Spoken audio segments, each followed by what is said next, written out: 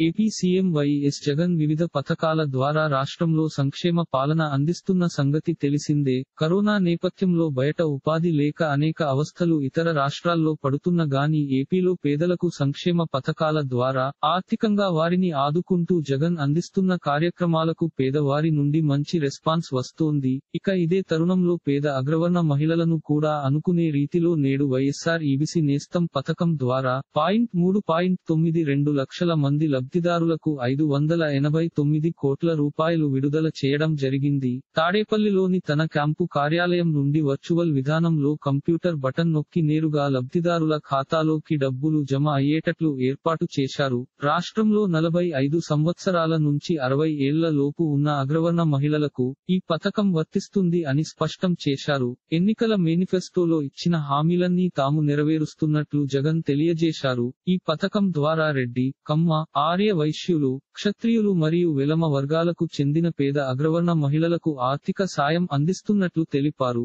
ఇప్పటికే మూడు సంవత్సరాలకు గాను పాయింట్ ఒకటి ఐదు వేల చొప్పున నలభై ఐదు వేల సాయం చేస్తున్నట్లు జగన్ చెప్పుకొచ్చారు. అగ్రవర్ణ పేదలకు కూడా మంచి చేయాలనే ఉద్దేశంతోనే మేనిఫెస్టోలో చెప్పకపోయినప్పటికీ ఈబీసీ పథకం ద్వారా ఆదుకుంటున్నట్లు సీఎం జగన్ వ్యాఖ్యానించారు. ఇలాంటి మరిన్ని తెలుగు వార్త విశేషాలు కోసం ఛానల్కి సబ్స్క్రైబ్ చేసి గంట నొక్కడం మర్చిపోకండి.